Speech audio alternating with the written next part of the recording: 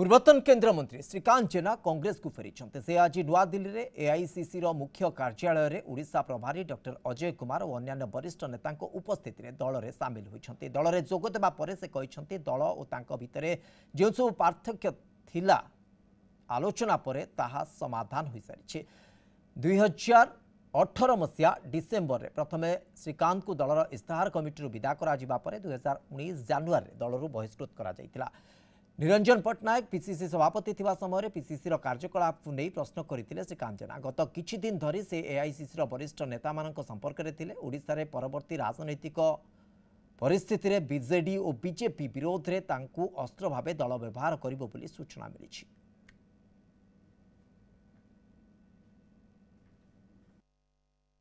so I got a message from Ajay Kumar ji we had a long chat. Then I met Congress uh, Honorable President Khargeji. We had a, whatever misunderstanding. The misunderstanding was on different issues, but uh, not personal anything. Uh, so that was sorted out. They said, uh, okay, I am there, available.